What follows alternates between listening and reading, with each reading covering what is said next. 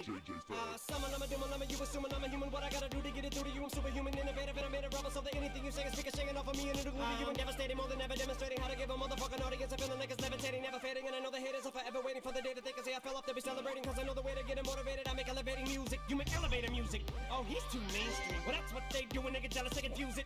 It's not hip hop, it's